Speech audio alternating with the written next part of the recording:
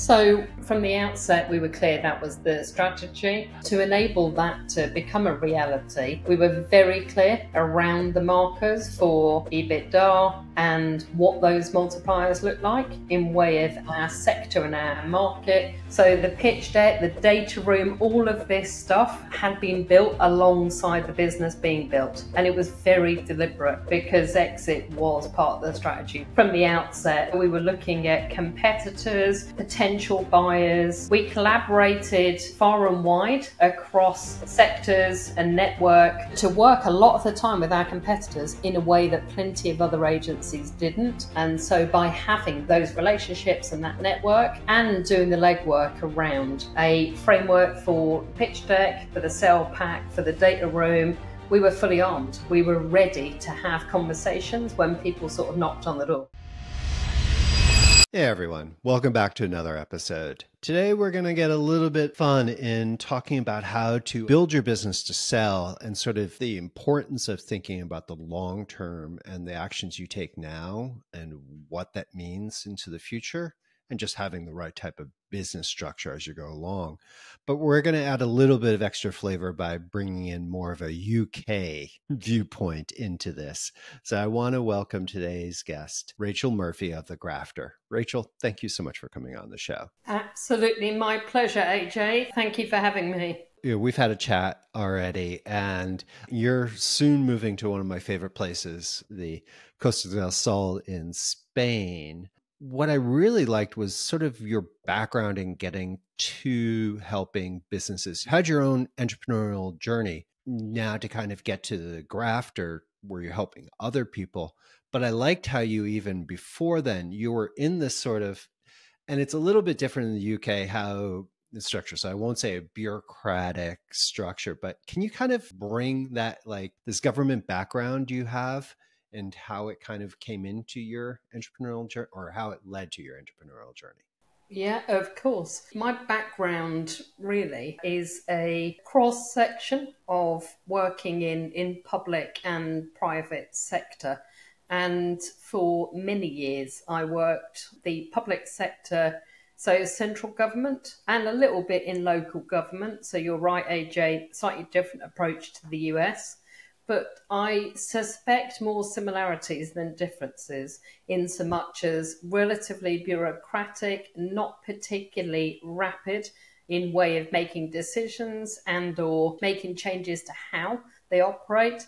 And so for a number of years, I worked doing turnaround uh, and transformation work across those large scale departments. And I built a bit of a niche for myself so if there was a, a problem from a people, process, or technology perspective, I often went in to fix it. By definition, I ran the IT for Department for Education, so the education department uh, in the UK. And, and then I actually led the patient facing transformation of the National Health Service, which was as, as large as it sounds. It wasn't as grand as it sounds, actually, but it was as large as it sounds. And uh, it's an interesting approach, I think. My kind of entrepreneurial journey started early 20s, and then I went into large scale organizations. I guess you could say I did a lot of learning uh, on other people's. Uh, other people's dime because they were paying me to uh, to fix some of their problems and then I went back. I knew that running a business was uh, was absolutely where I wanted to be and what I wanted to do. So, what was that transition like? You were helping businesses, these turnarounds from the government supporting business. You had then run, I mean, the National Health Service, for anyone who's not familiar with the British, is sort of like the backbone. That and the Queen, well, sorry, the King now, whoops, sort of the backbone of what it means to be a UK citizen. It's like the national health system and the royalty. you know, it's like that's kind of as British as you get. I wholeheartedly agree. And and how that came about was I was running a business transformation of the health regulator. So we have two regulators, one for doctors, one for nurses. And I'd, I'd led the business transformation of the, the nursing regulator. And I'd got as close to healthcare as I ever had done before. And I just knew it wasn't close enough and I absolutely had to get in. have a play with a, I guess, a, quite an archaic organization, but also one that does so much good. I was kind of desperate to put my mark on it and, and help try and transform an, an area that was was desperately in need. And and you know the NHS piece for me was going back uh, seven eight years now, and at that point every other industry had started to digitize, and yet we couldn't access our medical records. We couldn't book an appointment online. We couldn't do so many of these services digitally. And and for me, that was the that was the pull really in getting in, because uh, the the role I went in to do was actually transforming how the NHS operated from a digital perspective and building a digital front door to consume primary and secondary services. So, as you transitioned out of that, was that when you then went into your own business? Yeah, I think what happened really, AJ, was I saw lots of consultancies while I was sitting the other side of the fence. And I really struggled to understand what the USPs were with these businesses. There was lots of talk about how they were different, how they had deep domain knowledge in the health service but I couldn't feel and see it from a buyer perspective. And I felt that with uh, a number of years of experience and a wide network, that I could build something that would compete with what was out there at the minute. And what was that? And then I know you exited that not that long ago. So you want to maybe talk a little bit about yeah, of course. So that was a business called uh, Difrent. And what we did was we actually designed and built services for the National Health Service, but also for central government. And we put user centered design at the heart of designing those services, and the users being patients, the public, and clinicians. And we put that at the heart of whatever we were building. And we then went through a process of building the services out and deploying them. Some examples of services we built the home testing for COVID 19 for the UK. Uh, we also built the NHS app and did, did work on nhs.uk.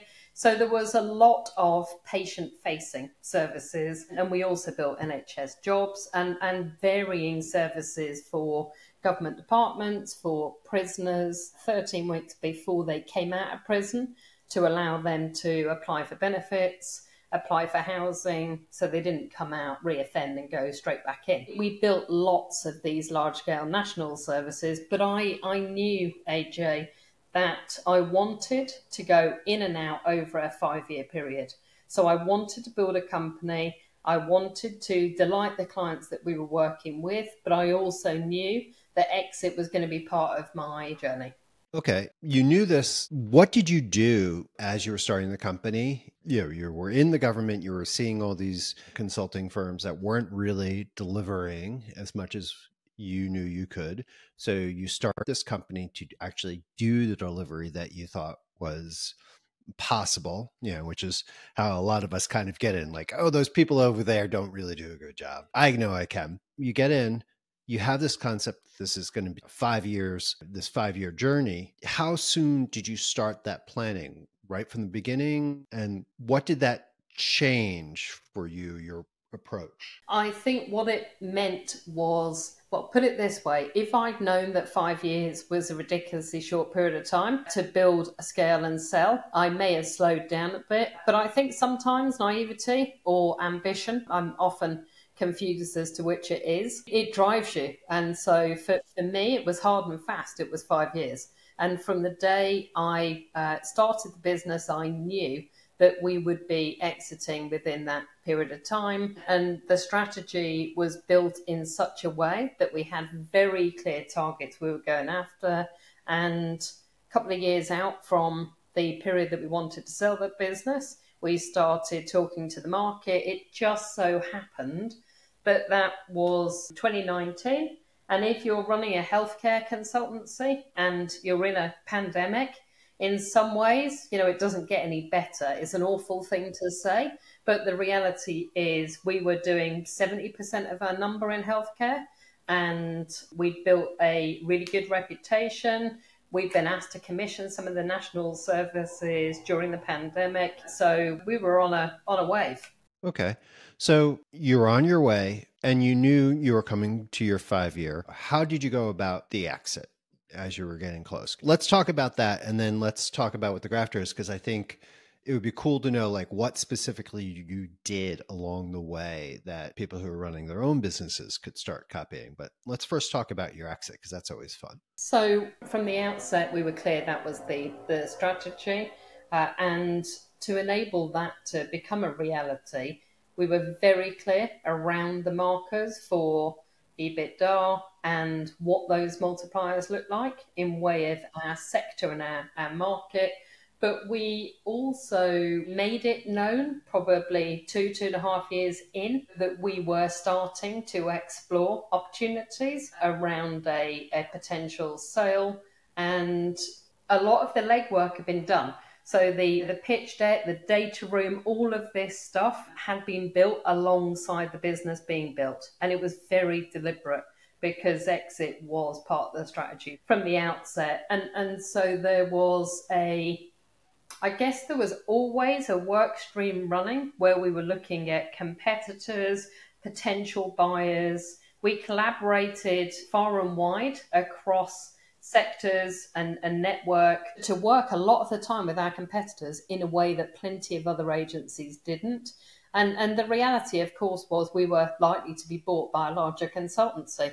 That's exactly what happened. And so by having that, those relationships and that network, and doing the legwork around a framework for the pitch deck, for the sell pack, for the data room. We were fully armed. We were ready to have conversations when people sort of knocked on the door. So it was as you were approaching your five year, it did sort of just lead to you were just in a position that companies were coming to you. You didn't run, you didn't hire an external to sell you. Earlier in these relationships with the larger companies, did you kind of like, oh, yeah, you know, one day when we sell, did they know you were looking to sell at some point? Yeah, just because I think that's the curious piece. We had worked with two of the companies that ended up making offers once we had one, it was very easy to start to signal that we were in the market, but we I, probably wasn't shy, AJ, about the fact that we were uh, we were ultimately looking for an exit, and my my management team were were equally aware of that uh, and, and knew that coming knew that coming in. Cool. So that was good. I know from my own experience, it was funny. I mean, we didn't end up selling to the larger agencies, but we had done a lot of work with larger, you know, some of the global um, advertising firms, and they were the first ones to be serious about us. But that did bring other people to the plate that kind of helped. But I like that you were prepared because I just completely was not prepared and I made every mistake possible in the thing. We may have been prepared, AJ, but I suspect we still made some mistakes along the way. But yes, we had a, a reasonable house in order. That's the thing, I think. We all make mistakes during the process. I think having an understanding and a plan for something, it allows you to adapt faster. Like I think having gone through different things, I know if I have a plan, you know, for growth or just different parts of business, it's the idea that oh, wait, this didn't happen. So here are the things that could change versus, uh, what the F? You know, and then you sit there for, you know, a long period of time trying to actually guess. You know, when I started off, I used to make my plans with like X factors. I would just randomly put things like, this will go wrong. I have no idea what will go wrong, but here's a block of time that I know things will go wrong. The end result was we fit the thing because random things went wrong. But okay, let's talk about the grafter and then let's bring in how firms that are in that, like, okay, as I kind of say, when you're in your early sevens, when you hit seven figures, all of a sudden you move from like rubbing sticks together really quickly to see if something can work to like building that fire and consistently feeding it and starting to build the systems that allow you to scale. And all of a sudden it's like, oh, instead of being crazy to make sure we survive, I'm going crazy because there's so many more moving parts and I'm going to drop them. You start the grafter because you had this experience where, wow, it went so much better for you because you did plan Were there other entrepreneurs who were going, hey, why are you doing it this way? That's so cool. What kind of led from that external piece to kind of move to then helping others? I think the honest answer is after the sale of Difrent, I went through a period of loss which I think is quite common for entrepreneurs when they sell their business. It's a huge association. It's your baby. There's lots of blood, sweat, and tears. And as a cathartic process, I wanted to blog about the concept to sale of the business. So I wrote what I thought may be a book. It hasn't become one yet, but who knows? And at the end of that period, I then thought it shouldn't be this hard for entrepreneurs to go through that journey. And I have a really strong belief that we have lots of services in the UK to support entrepreneurs right at the outset, accelerators and other bits and pieces. And it's, you know, it's remarkably easy to set up a limited company.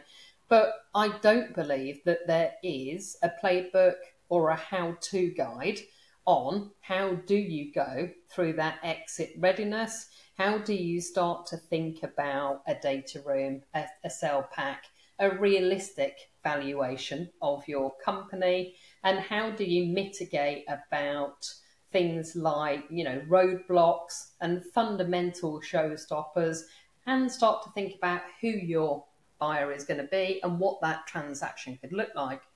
And so that's what prompted me really to see. I think there's an element of being slightly masochistic, AJ. I wanted to go back and build a service and take it to market and see was it going to be of benefit to others. So that was the real motivation. Um, and I believed it would have been helpful for me. So I assumed it may be useful for others. And that was what prompted really the, the, the building of the grafter. At that point, it was purely focused around exit and how do we help businesses exit. And subsequently, we've started helping businesses to grow and scale as well. All right. So let's kind of talk about that process and let's use the example of like I've hit some market fit, product market fit. I am building the business. I have team seven. I'm growing. You're in that million dollar range, that seven figure range. Where's the kind of the first pain point you think? And yes, I do want to sell as an entrepreneur, maybe not at five years, but I think a lot of entrepreneurs are more like, we want to sell. We don't put a mark in the sand. And I think that is an issue. Where should the first thought go? When someone starts thinking, okay, yeah, we do want to get there, we do want to sell, what should they start thinking about? I think they should start thinking T minus 36 months out and start to put some markers in place. Understand the valuation of the business, understand the business that they're actually running. Where is the IP? Where is the value? How do the contracts align? What does the forward plan of the business look like? And raise their head a little from the day to day running of the business to look at it really objectively. And, and that I think gets you to start to think about the potential sale value, potential purchaser of the business.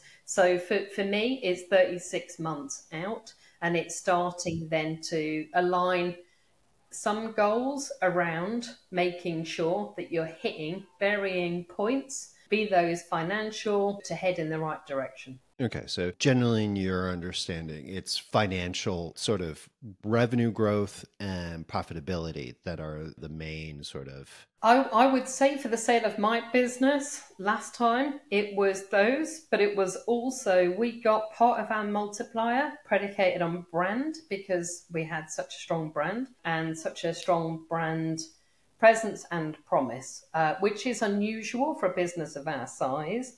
I think that the market is changing, and I think that IP, especially where we think about things like AI, is is going to be impacting valuations in a way that I'm not sure we fully understand at the minute. I spent a couple of hours with an IP lawyer debating this yesterday, and it's a can of worms. You know, every business thinks or wants to head into AI, and we we don't know yet what we're what we're managing, how we'd manage and structure the IP around that. There's so many unknowns, but I think that is going to have a direct impact in in valuations. Yeah, and without taking this too far off, but just as a quick side, I fully agree with that because it's like in one sense, not quite yet, even though it's getting better with each iteration of each large language model. Almost everything is going to be doable at a faster, quicker, better pace. So, where everyone is the same, yes, there's going to be a drive down but like how are you going to determine, and that is around the brand. It's the companies that can best understand what aspects of that deliverable are influenced by their ability to add value to the large language models, I think is going to be interesting because it's not just like, oh, well, I understand everything. I'm an expert in X. It's like, well, X can be done to 95% through a large language. It's like, it's my ability to translate, it's my ability to feel the currents of the wind, whatever, you know, but, you know, whatever the humanness you can bring to it, I think is that interesting part to that. All right. So, what are some of the things that best help a company align? Because usually what I you know, when I talk to folks who are saying, "Oh yeah, I'm interested in selling," it's the books are out of order, sales process is very ad hoc, workflow is all internalized with sort of like that lovely up to about 20 people it just like everyone sort of knows what to do. Past 20 oh yeah i'm chasing things a little bit. And then you start getting that like well can you juggle three balls? Can you juggle four? Oh how about a chainsaw? You know is you know when you start hitting 30 40 people. Where do you start working into that process one of the things that we've developed, AJ, as part of the Grafter is a, a tool that allows us to do a diagnostic of a business for exactly that reason. And what it allows us to do is look at every aspect of a business and give it, in conjunction with the founder, a you know maturity level rating. And, and what we won't do is here, you know, our strategies are 10 and go, thank you for that, off we go. But it's it's really dig into it and understand how does that show up? You know, how does that if the strategy is a 10, then, you know, by definition, everybody's objectives are aligned behind the strategy. Everyone knows exactly how they're contributing and and and. So we, we really get under the under the surface to understand the maturity but as a as a, a, a general rule, having a clear view of the finances, of the P and L, of the contract base, how you do things is so important, and you know the repeatable aspect, the playbook. You know, a lot of consultancies' IP is sitting in that, but they don't fully understand that, nor have they documented it. You know, I mean, AI is a great one there's this we can effectively have a consultant in our pocket these days if we leverage that in, in the right way. Um, but I, I think getting some structure and being clear about how the business operates, the future potential, and making sure that you've got those component parts wrapped up in a compelling story and that you can tell where you've been from, what the key milestones are, perhaps most importantly, where you're going and the one thing I always encourage founders to do is be honest about what's working and what isn't in their business. So many people will go into those negotiations painting such a colourful, fantastic picture. But you know, buyers are very savvy and, and no business is perfect. And I think by being upfront about that, you know, you're going to have to negotiate on value and, you know, cost and transaction. But I think going into it in that kind of, in that way really pays, pays dividends. So for me, starting to approach it in that way, and if you imagine running your business with some of the component parts of a data room, you're not going to go far wrong because by definition, you've built the governance around something that ultimately you're going to have to serve up and, and report on when a business comes to you, when you know, an entrepreneur comes to you with their business from that sort of ad hoc structure, what I always call building the car while driving 90 kilometers an hour. Aha, Americans, that's just talking European there for a second, but driving down the road and building at the same time. How long do you feel it takes to kind of restructure and move towards that being ready? I know there's never a perfect sense since we're all human and businesses are never perfect. but how long do you usually feel it takes? I think that's a great question. And you're right, it's how long is a piece of string. Founders for me fall into two camps those who are lowballing where they think the value of the business is for varying reasons, and those that are on Fantasy Island. And very rarely do we see them in the middle ground. So holding up the mirror and having a sensible conversation about, you know, value today and what the value could be with some tweaks and changes over a period of time is part of that process every single client we've worked with, we've had to go back and have a look at the strategy without exception and actually set some some goals around the business as usual and likely increasing revenue as part of that that piece of work so i think realistically you'd be looking at a what well, the clients we've been working with there's probably nine months worth of work um, in way of understanding the business being clear and lots of these businesses, AJ, have, have, left money on the table. So helping them, you know, be, be a bit savvier around that. Loads of pre-sale stuff going out the door that should be being charged for, and and and again, all of that starts to contribute to the bottom line. So we would tend to do six to nine months worth of work in way of consultancy to to help from a, a revenue and in some cases scaling perspective and then move into the exit process. But equally, you know, I mean, I just an example. I had a phone call a couple of months ago with a business that, I mean, you know, their, their, their numbers were probably 20 grand a month in way of turnover. And they genuinely thought they were selling for 3 million. And yet they've got, you know, a stack of debt. And it's like, you know, and having that frank conversation straight away. That was a 20 minute conversation. I can't help you sell this for 20 mil because I'm not a magician. So, and that that's not me trying to be disrespectful, but we are very open and honest about what we can and what we can't do. I had a conversation the other day and was asked, could we help IPO? I said, we have no experience. There's loads of companies that can do that, but but not us. So where we're brilliant is in businesses that are two to 40 million professional services, SaaS based businesses. And, you know, that really is our niche at the minute. Those are good ones because while slightly different markets between a professional service and SaaS, a lot of the thought process and the sales process, which I found very interesting, is very similar, especially now where buyer behavior used to, for these types of enterprise or business services, used to be so much discovery by sales it's over the past 10 years has changed predominantly to self discovery. Most businesses are now doing the research on their own, where it used to be they were kind of being driven by sales. All right. So someone goes through this thing, and yes, not the $20,000.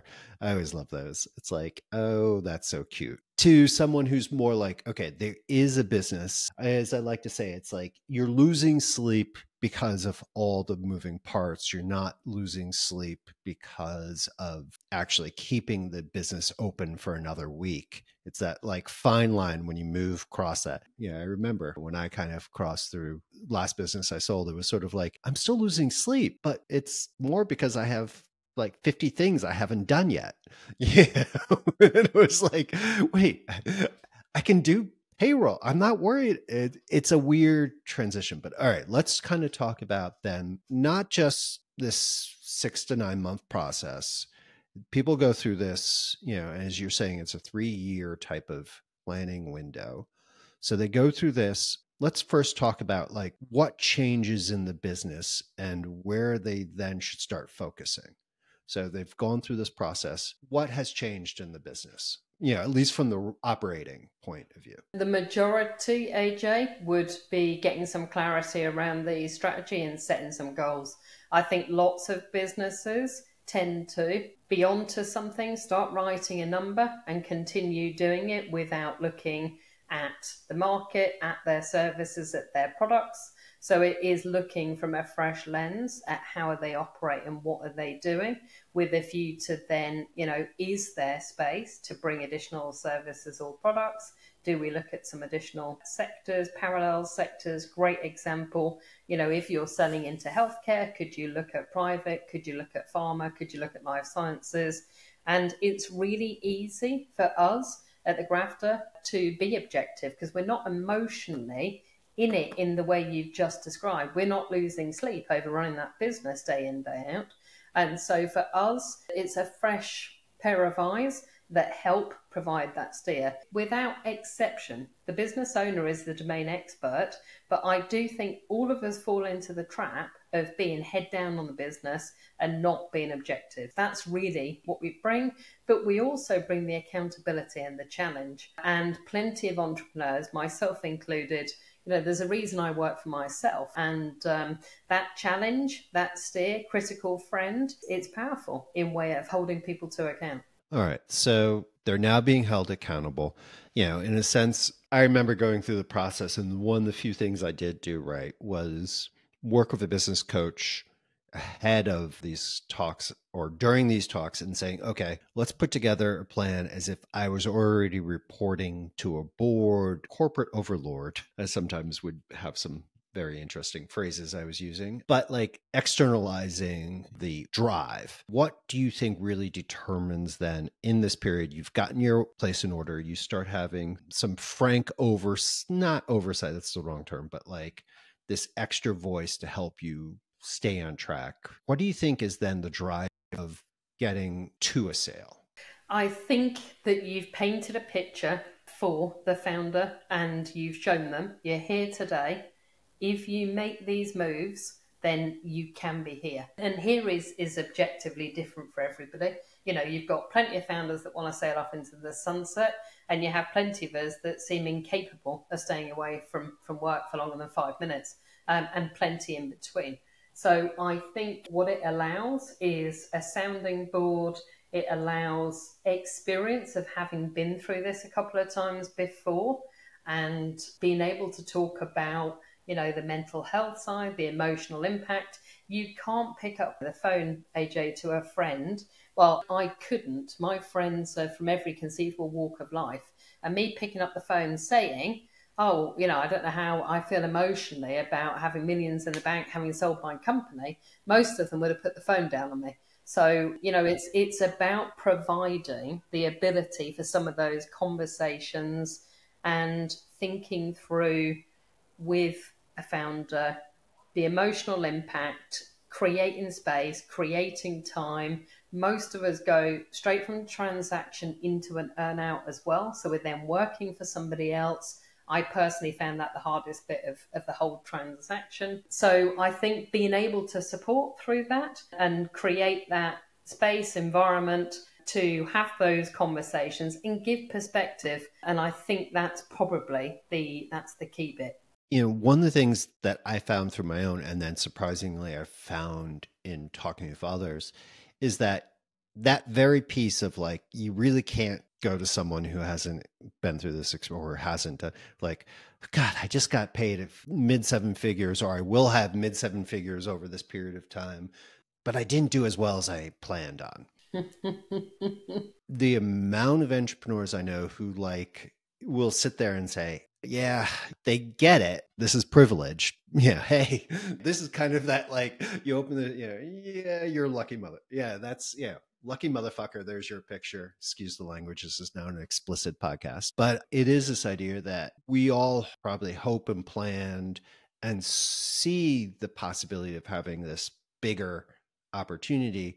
And then when it comes down to it, because we didn't plan correctly, we didn't do this, we didn't get quite the number yet at the same time we're better off than 99% yeah it's like it's that weird kind of transition. How do you guide entrepreneurs in trying to define what success could be and not focus on that number? And it's so hard because it is the number but it really isn't the number I think that's a great question, AJ, and a hard one to answer, but let me give it a go. I think that entrepreneurs are, by definition, very driven by that number, and in their head somewhere, whether they like to admit it or not, there's normally a number. But the reality is, for me personally, It was about creating freedom. Now, what I then choose to do with freedom is fill it up with another business. So that's a that's a separate challenge. But I think it's about having an authentic conversation, and it's about understanding the person as a human, not as a as an entrepreneur we are all motivated and very, very driven for building businesses in loads of different ways.